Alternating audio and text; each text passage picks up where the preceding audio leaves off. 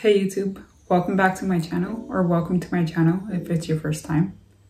I'm Jada, founder of Unbound Creation.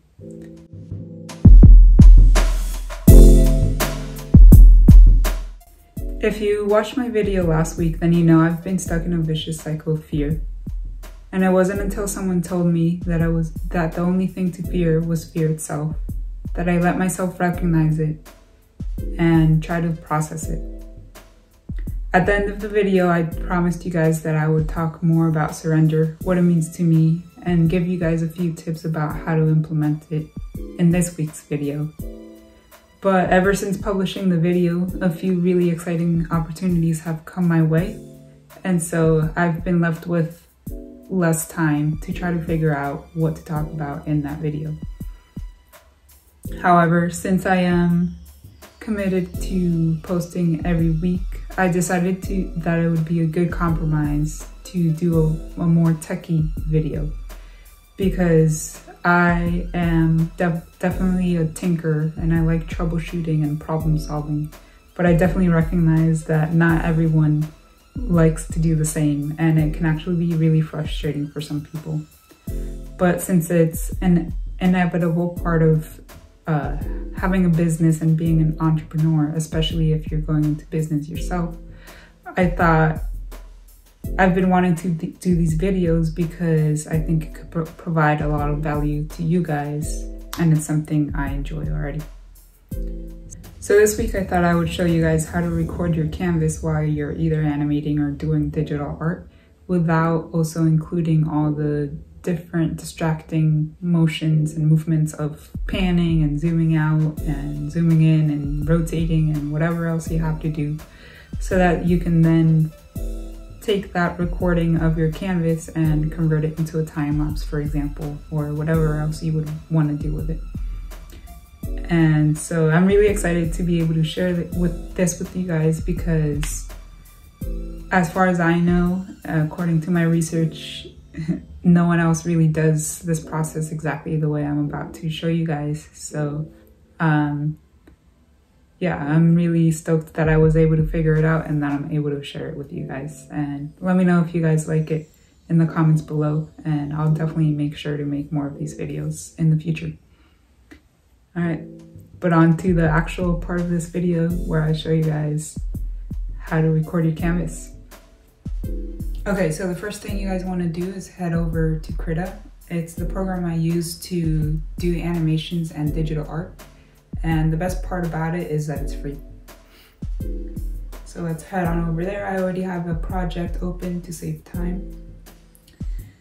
And I'll show you guys, the, my first idea that I had was to use this overview window and to record that overview window for the time lapse.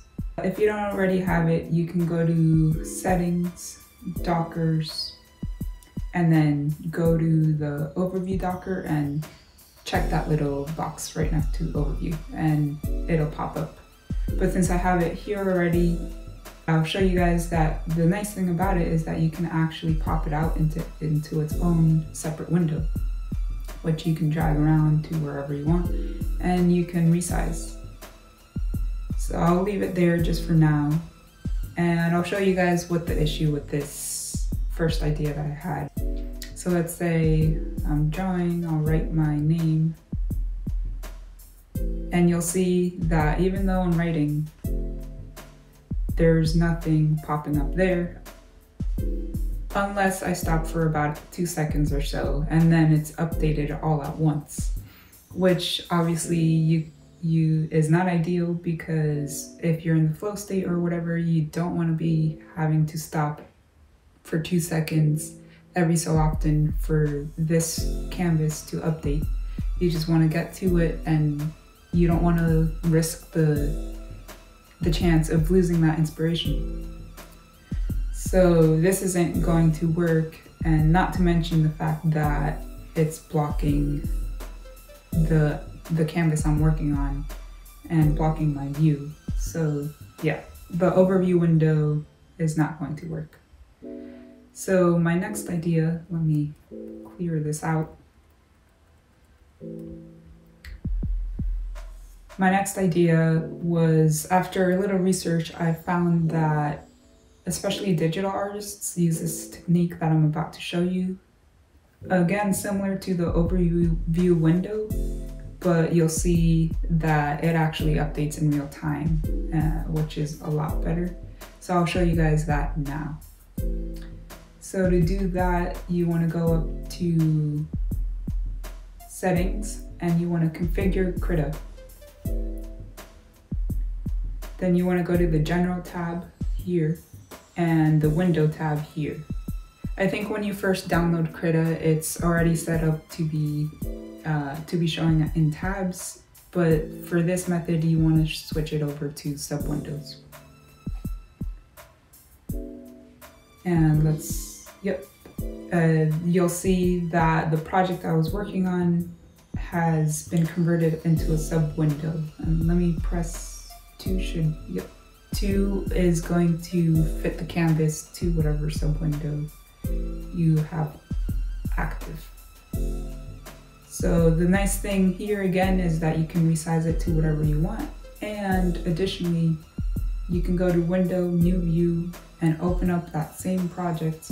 If you have multiple projects open, you'll see them all listed here. Just open up the one that you're currently working on. So click that one, which is the only one I have open. And you'll see that a new sub window was opened, which I can now resize. So you'll notice that it's no longer overlapping the way the overview, overview Docker was. And what's even nicer is that I can be working on this one. Let's say I'm drawing, I'm writing my name and you'll you can see already that it's literally this the moment I write or draw or anything on here it's automatically being updated on this window and the extra benefit is that if I zoom in or rotate or whatever notice that this this window, this sub window isn't being affected by those movements. So it will update in real time, but it won't show those movements like I said. So now the only issue with this is that this is still a really small section of my whole screen and in post editing I would have to crop down just to the size of the canvas, which would reduce the quality of the video by a lot. So that's not ideal. And at this point I was thinking it would be really nice to be able to just have this in a completely, have this sub window in a completely sep separate screen because I've been having uh, a second laptop. It was my old laptop. It's just been lying around. So I was thinking It'd be perfect if I could just use it as an extended display, drag this window over there, record that entire screen, and then that way, whenever I crop down to the size of the canvas, it wouldn't really affect the quality all that much. So let me show you guys how to extend the display. And this is especially nice if you're using two laptops because according to my research, it's not always possible to do it through a wired connection. So this will set it up so that you can do it wirelessly. I'm not so sure if this works on a Mac, um, but if you're on a PC, it should definitely work. So the first thing you want to do is go to your second laptop and search for projection settings. I already set this up on my secondary display, so I'll show you guys on my primary display so you guys can see what it looks like if you haven't yet set it up. So let's look for projection, projection settings.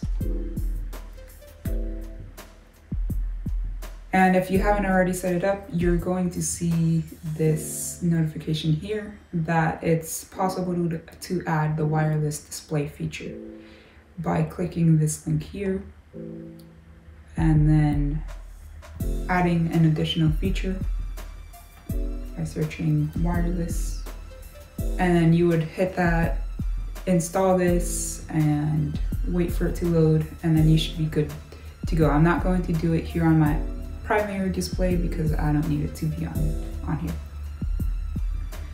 Okay, so once you do that, what you'll see, now I'm on my secondary display, what you'll see is if you search projection settings again, now you'll have this link uh, which says launch the Connect app to project to this PC. And then it's going to say it's ready for you to connect wirelessly. So then you go to back to your primary display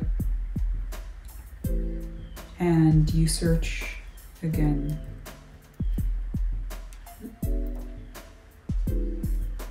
Duplicate, duplicate or extend to a connected display. Then you want to scroll down and go to this accordion here, which says multiple displays. And go to the very bottom of that accordion, you'll see connect to a wireless display. And then you want to hit connect. And you'll see that my other laptop, which I've named Asus, is available to be connected to. So what you would do is you would hit that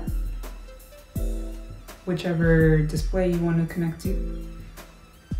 And when it zooms out like that, it, then you know that it's successfully connected. And the first time I, I connected to my secondary display, everything was fine, but then I closed everything out and tried to do it again. And for some reason that time, I noticed that the extended display only took up about a quarter of my second laptop. And so to fix that, if you guys run into that issue, just go back to display the display settings. And this worked for me. Where it says scale, I switched it over to 150, though probably any any other setting other than 100 would work. And then that enlarged the display on my secondary laptop. But obviously everything was zoomed in, so it wasn't ideal. So I went back to 100%, and this time it did take up the entire screen at the actual resolution. So hopefully if you guys run into that problem, this will fix it. But anyways, once you guys set all of that up, just go back to Krita. And actually normally you would see a little toolbar pop up here after you successfully project to your secondary display that's a bit distracting. So the way to uh, to get rid of it, if you have it, is there's a little like thumbtack icon that you would just click on and then it'll go away. If you hover within that area, it should slide back in. But anyways, for some reason I don't have it, so let's continue. Okay, so now we have the secondary display set up and we have the sub windows. So my next idea was to drag over that sub window into my secondary display. So I'll do that right now. But as you guys can see, the thing about sub windows, which I hadn't realized at first, is that they have to live in and be contained within this viewport. So you can't even slide it outside of the viewport, viewport, much less a second screen.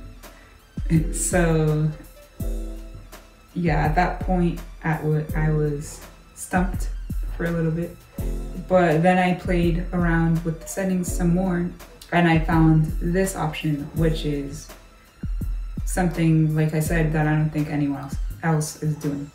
And it's really nice too because you can actually still keep the tab configuration of Krita if that's something that you prefer, which I definitely prefer that, so I'm gonna go back to that now.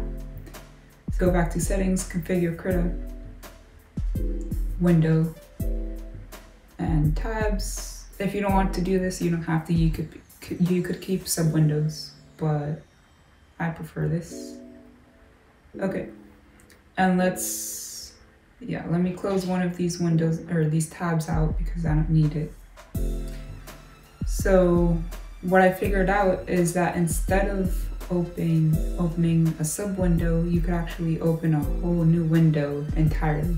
So let's do that now. And once you do that, you're gonna see that it's going to open Krita as if you're opening it for the first time that day. And you'll have all your projects here as usual. But the thing is, you don't want to open your project that you're working on from this menu. Instead, you want to go back to Window, New View, and just like before, select your the project that you want to be working on. So once you do that, you'll see you can actually already tell that it's it's already linking to my other project. Let me do sub uh, a split view so you guys can tell. It already linked to my other project without me even having to save it because my name is here.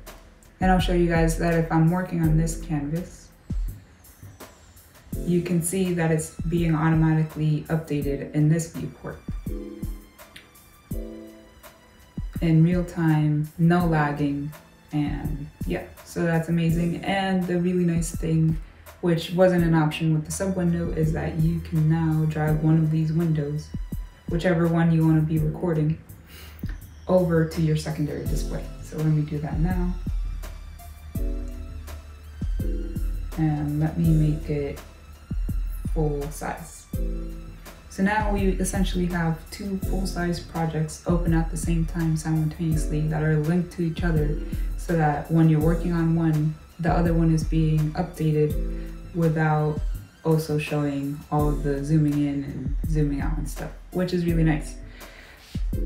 But this is still kind of a small canvas, so my next mission, I guess, was to have that canvas be as large, large as possible.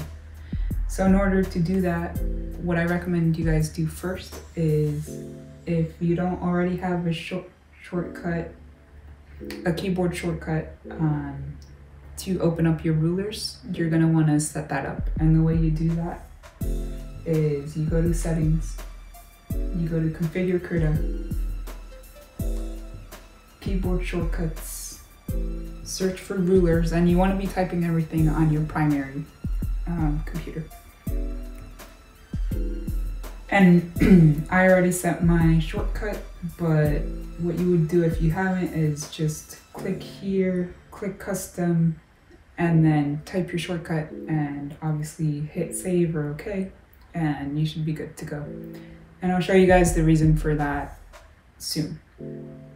Okay, so once you do that, the next step is you could either go to view and show canvas only, or you could, as you could tell here, just hit escape on the keyboard, again on your primary keyboard. Which is a huge difference in size but you'll notice that we still have this bar up here, this bar here with the name of the project and your taskbar. So in order to get rid of that, you could hit Control Shift F, which is going to get you guys into full screen mode and get rid of that top bar and actually also that taskbar. So this is pretty much using all the screen on your secondary display, which is really cool because that's really not gonna affect your quality much at all if you crop down to remove this this bar with the name of the project, with, which I haven't really figured out how to get rid of without post-edit. The reason I wanted you guys to set up a shortcut for showing the rulers is because for some reason when you're in full canvas mode, the escape key no longer works unless you bring up the rulers with, with whatever shortcut you decided to use. You click on the rulers and then you hit escape and then you should be able to come out of full canvas mode. And if if you no longer want the rulers, just hit your shortcut again and it'll get rid, rid of the rulers.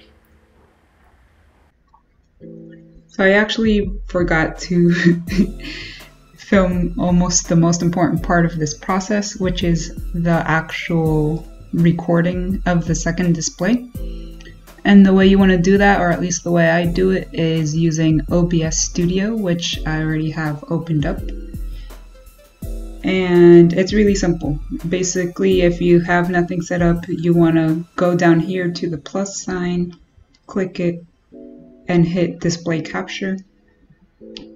Name it whatever your second you want to name your secondary display. Let's say ACE S2. Since I already have ACES 1, this is just an example. Hit OK. Then this window is going to pop up and in the drop down menu you want to if if I were displaying to a secondary display, it'd have an option display to. And you would want to select that, hit OK. And if for some reason it adds it all the way on the bottom, you would just want to drag it all the way to the top so that it's the thing that you're actually recording on OBS Studio. So that's it. If you guys made it up to this point of the video, thank you so much for watching. It means a lot to me. And like I said, I think this is this could be a really valuable addition to your guys' process in terms of showing other people what you're doing and marketing yourself. And I think it could be implemented in a lot of different cool ways. And if you guys figure something out that I haven't figured out already, in terms of different tweaks to the process itself or how to implement it um, for your marketing and stuff, please let me know in the comments or let me know if you like the video in general. And also make sure to hit that like button and subscribe if you want to. It lets, it lets me know that you guys are enjoying the content I'm, I'm making. And I really appreciate all the support as, that I can get, especially as a new channel. And also, I promise that next week I definitely will talk about surrender, so make sure to tune back in, and I'll see you guys next time.